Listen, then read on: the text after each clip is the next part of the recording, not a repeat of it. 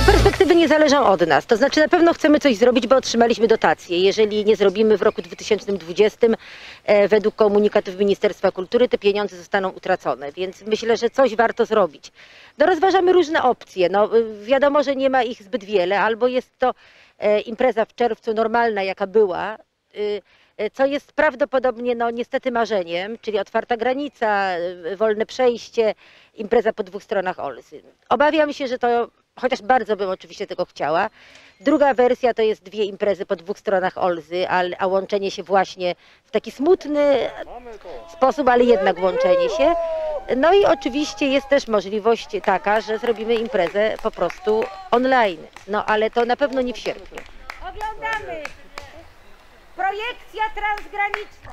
Y, Jeszcze badamy teren i zobaczymy, inspirujemy się innymi festiwalami, podglądamy co oni robią, pytamy różne firmy, jakby to można było zorganizować i, i- w jakich y, kosztach. Także badamy, jest to jakaś opcja, zobaczymy jak wyjdzie. Serdecznie witam drugą stronę. Jest z nami oczywiście dyrektorka festiwalu. Cześć, cześć, witam. Witaj serdecznie. Jest oczywiście, e, ja pokażę teraz naszą stronę. E, Jest też Jakub Gajnica. Poczekaj, jak stary otoczymy. Także. Moment.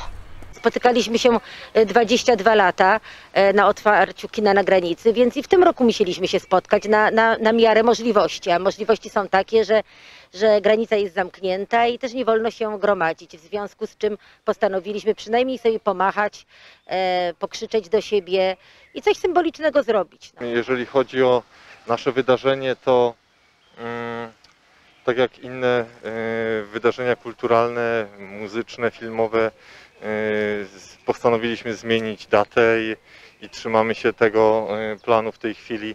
Czy ta nowa rzeczywistość, ta nowa normalność pozwoli nam, nam na to, żeby to wydarzenie miało miejsce w takiej zaplanowanej formule, czy będziemy y, musieli się częściowo choćby przenieść do internetu, no to pokaże najbliższy miesiąc, bo myślimy, że w maju dużo rzeczy się wyjaśni.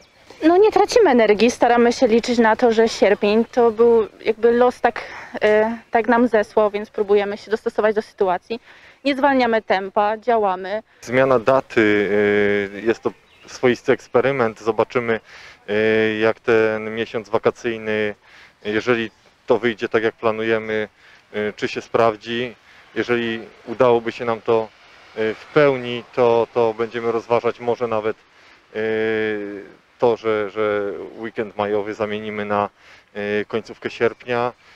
Dodatkowo wymuszona pewna formuła przeniesienia prawdopodobnie części działań do internetu y, też jest nowym doświadczeniem i też y, myślę, że przyniesie nam y, korzyść w dłuższej perspektywie. Jeszcze nie wiemy, kiedy na pewno odbędzie się 22 przegląd filmowy Kino na granicy, ale serdecznie zapraszamy.